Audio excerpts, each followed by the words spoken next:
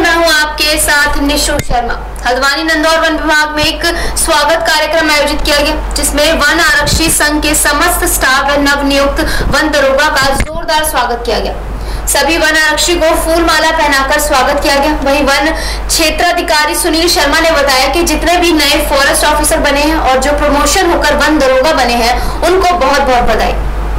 इंदौर के reception hall में बनारसी संघ जो है उसकी एक मीटिंग का आयोजन किया गया है और जिसमें जो प्रभाग स्तर पर वन आरक्षी से वन दरोगा के पद पे पदोन्नत हुए हैं उनका स्वागत कार्यक्रम रखा गया है और इसमें जो इनके यूनियन के अध्यक्ष हैं प्रदेश स्तर के और बाकी हमारे रेंज का स्टाफ है उन्होंने प्रतिभाग किया है।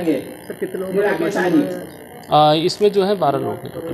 यहाँ नंदोरेज में जो कार्यक्रम रखा गया था वो जो हमारे नवनियुक्त वनारक्षी भाई बहन आए हैं, उनका एक स्वागत समारोह था। साथ ही, अभी हमारे वन परिवार में से वनारक्षी भाई का पदोन्नति हुई है, एटी नाइन लोगों की पदोन्नति हुई है। उन लोग की एक, यहाँ हमने उनको बधाई देने के लिए वेलकम पार्टी रखी है